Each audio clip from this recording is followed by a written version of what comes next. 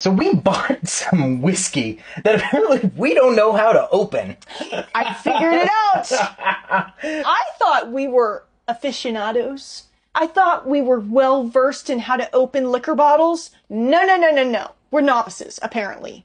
Well, the screw top is, it's like a jigger. And we could not get this sucker off. And like all of your strength could not get this off. Fun fact, if you tap on the side of the metal part where the two ounce sign is and then you just twist, it comes right off. So we were doing the whole like strongman technique where like I was holding it and he was really trying to get that sucker off and like pulling and tugging and everything else. Looked that up. I tapped on it a couple times and then just screwed it right off. It was, it was very, very comical.